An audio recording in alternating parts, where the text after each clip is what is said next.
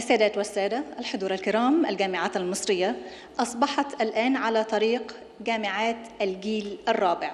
بفضل الاستراتيجية الوطنية للتعليم العالي 2030 والتي أطلقها الدكتور أيمن عاشور وزير التعليم العالي والبحث العلمي. وهو شخصية علمية لها إسهامات كبرى في تطوير التعليم العالي في مصر.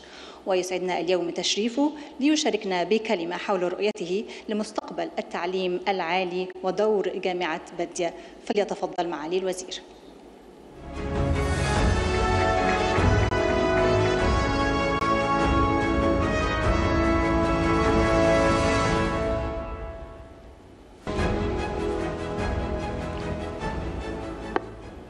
بسم الله الرحمن الرحيم.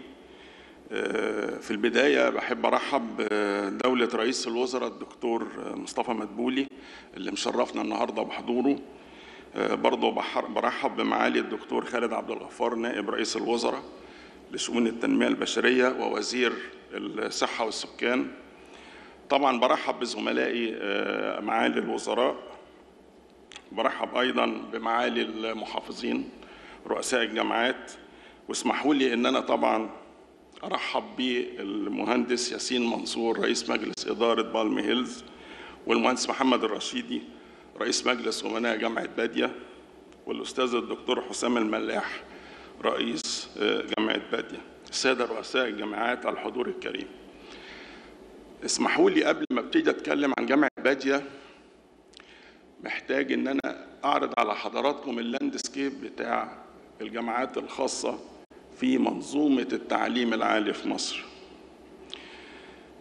المنظومة دي ابتدت في 1997 بعدد من الكليات والبرامج وهعمل مقارنة بين اللي ابتدينا بيه ودلوقتي إحنا وصلنا بإحصائيات ومؤشرات ودلالات إحنا بقينا فين في التعليم الخاص كأحد محاور منظومة التعليم العالي المصري.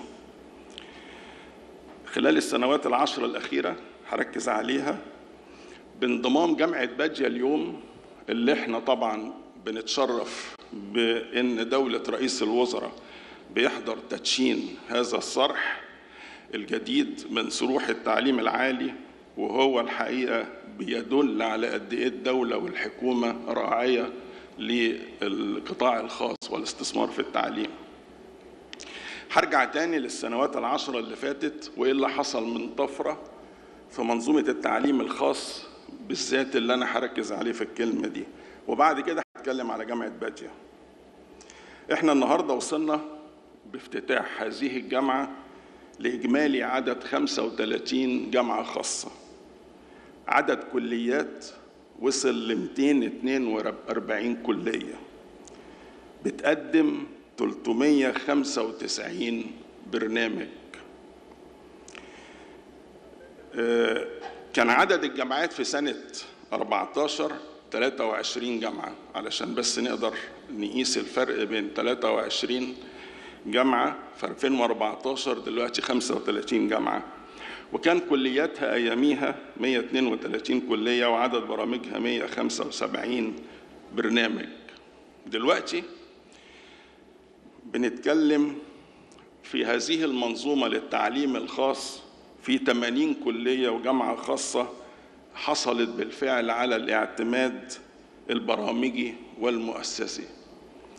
وبرضه عايز أقول إن في منهم جامعات أخذت اعتماد دولي من الكيو اي اي والإبت فبس علشان نعرف ال quality of education اللي بتتقدم في مسار التعليم الخاص في منظومة التعليم العالي المصري.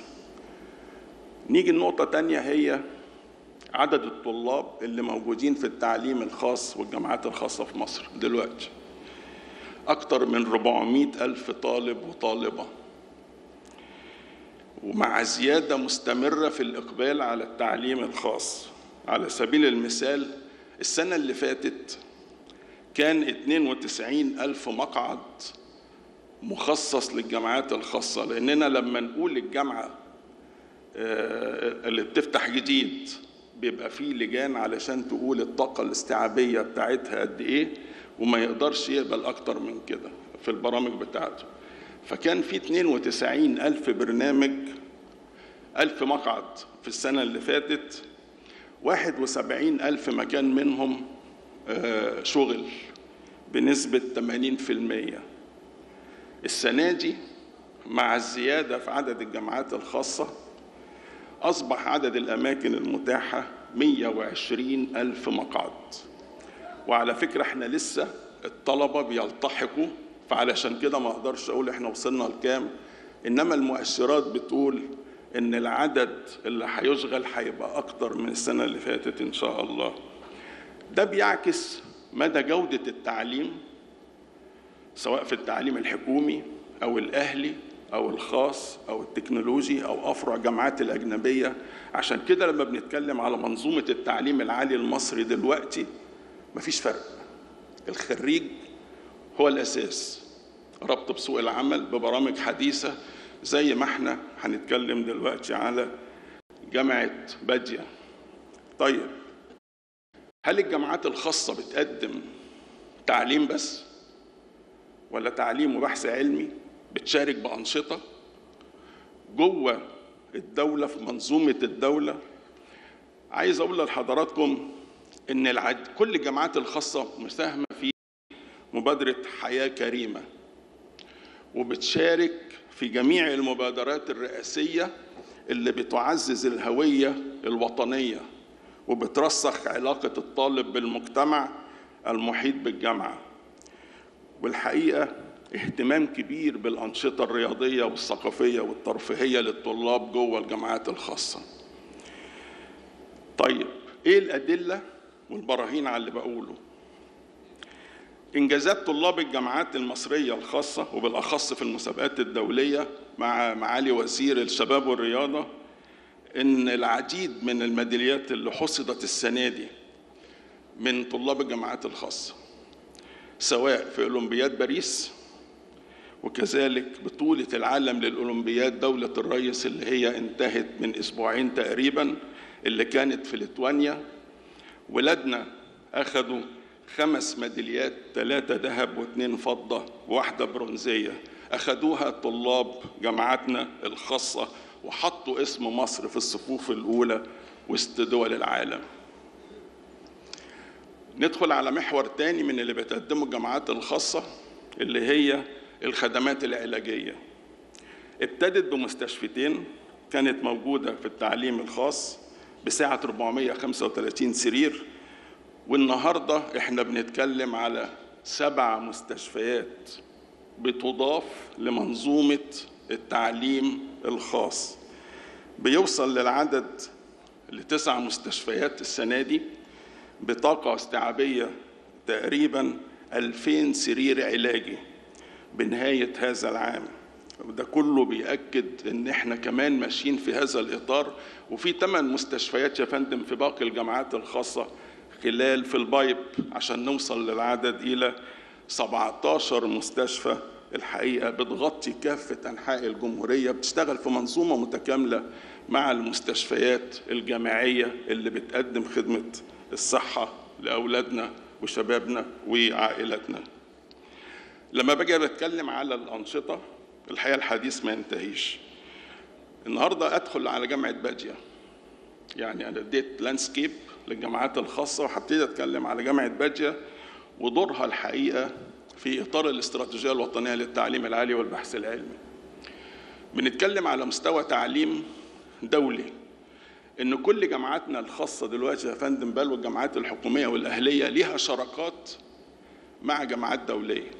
النهارده إحنا بنشوف مثال وفقا لتوجيهات سيادة الرئيس إن الشراكات مع الجامعات الأجنبية وأفرع الجامعات الأجنبية بن بنتارجت أو بنأمل إن يبقى في شراكات مع الجامعات المتميزة في العالم. النهارده لما شفنا جامعة تكساس وهي من يعني الرانك بتاعها من الخمسين الأوائل على العالم فده مثال الحقيقة على اللي بنشتغل عليه دلوقتي في منظومة التعليم الخاص في جامعاتنا. وعايز أقول ده نفسه اللي بيحصل في الجامعات الأهلية والخاصة والجامعات التكنولوجية والحكومية. تصنيف دولي متميز عشان نبقى world class universities والتعليم الخاص يا فندم دلوقتي بيؤكد إن إحنا في هذا الطريق. الموضوع بس بيستمر كمان بعد تخرج أولادنا الطلاب وبنتابع معاهم هم راحوا فين وإزاي الإمباكت بتاعهم على المجتمع المحيط سواء المحلي أو الإقليمي والدولي. في الختام طبعا أنا بشكر دولة الرئيس على تشريفه لينا النهارده وأشكر حضراتكم الحضور الكريم وبنتطلع للمزيد من التقدم والإنجازات والافتتاحات في المستقبل إن شاء الله. شكرا والسلام عليكم ورحمة الله وبركاته.